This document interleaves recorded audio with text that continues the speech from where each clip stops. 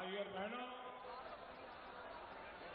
दुनिया में भारत की साख और सम्मान अगर नई ऊंचाई पर पहुँचा है तो इसके पीछे आप सबके आशीर्वाद है, आप सबका सहयोग है। भाई और बहनों, देश की साख रहे इसके लिए मज़बूत सरकार का होना बहुत ज़रूरी है। मज़बूत सरकार ही कड़े और बड़े फैसले ले पाती है। देश को आगे बढ़ा पाती है। आप मुझे बताइए, आज दुनिया में हिंदुस्तान का डंका बज रहा है कि नहीं बज रहा है अमेरिका में भी भारत का डंका बज रहा है कि नहीं बज रहा है जर्मनी में भी भारत का डंका बज रहा है कि नहीं बज रहा है इंग्लैंड में भी भारत का डंका बज रहा है कि नहीं बज रहा है दुनिया के सभी देशों में हिंदुस्तान का डंका बज रहा है कि नहीं बज रहा है ये सारी दुनिया में भारत का जय जयकार हो रहा है। इसका कारण क्या है?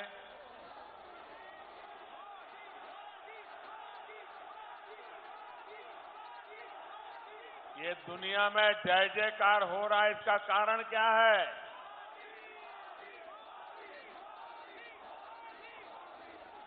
इसका कारण मोदी नहीं है।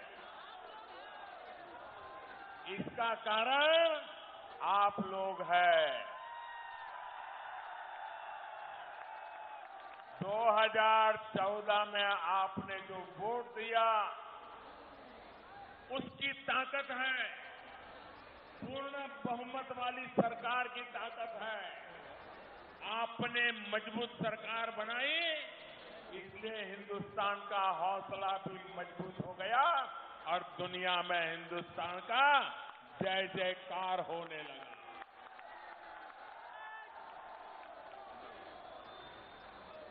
भाइयों, बहनों, आपने मुझे पाँच साल बराबर देखा। विरोधियों ने मुझ पर आरोप लगाए, वो भी सुने हैं। आप मैं मुँह पूछना चाहता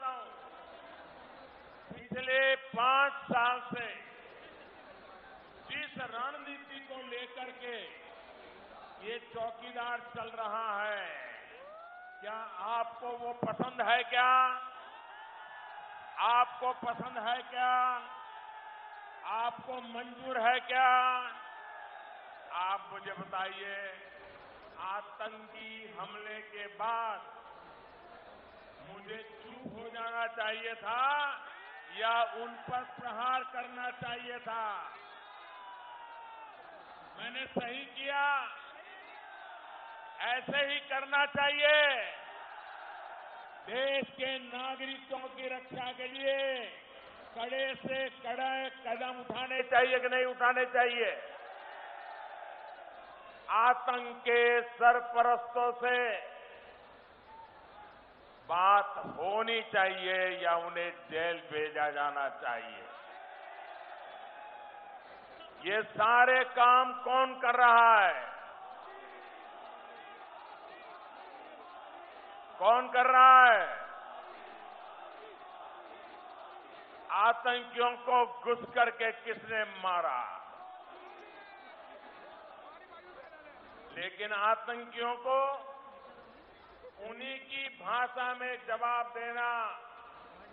हमारे देश में ही कुछ लोगों को परेशान करता है। उनकी रात की नींद उड़ जाती है। जब भारत डंके की चोट पर दुश्मन को मारता है, तब कुछ लोगों को हिंदुस्तान में रोना आता है। जब पाकिस्तान पूरी दुनिया के सामने बेनकाब हो रहा है तो ये पाकिस्तान के पक्ष की बातें कर रहे हैं। वो वहाँ पर हीरो बनने की स्पर्धा कर रहे हैं।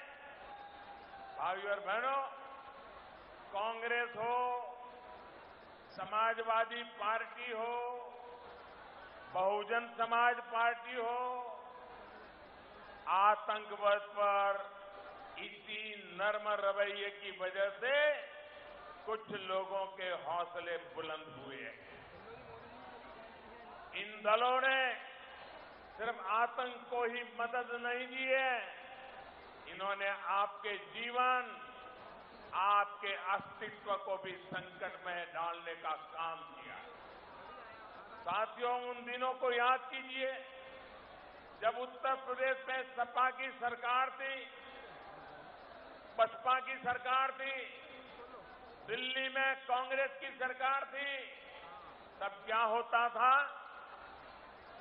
कभी लखनऊ में बम फूटते थे, धमाके होते थे, कभी रामलला की जन्मभूमि अयोध्या में धमाके होते थे, कभी भगवान भोलेनाथ की नगरी काशी को दहला दिया जाता था, कभी रामपुर के सीआरपीएफ कैंप पर हमला हो जाता था अक्सर इन हमलों के तार यूपी के अलग इलाका दूर दूर तक इलाकों में जाते थे।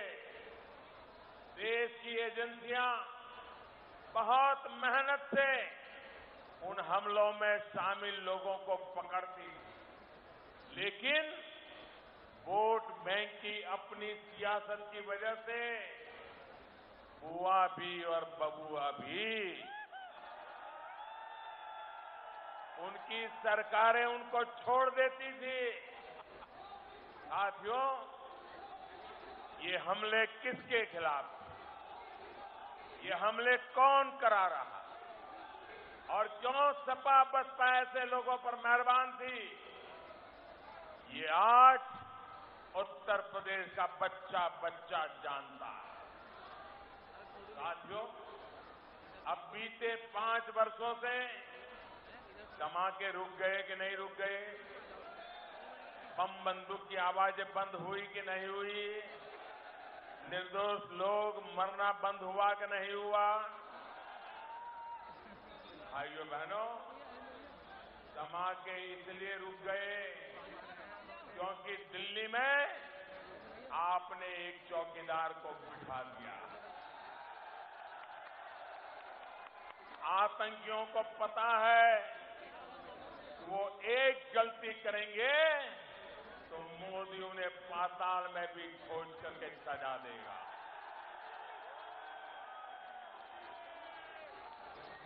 मोदी आतंक को वोट बैंक से नहीं तोलता। सभी आतंक के मददगार आज जेलों में बंद पड़े हैं।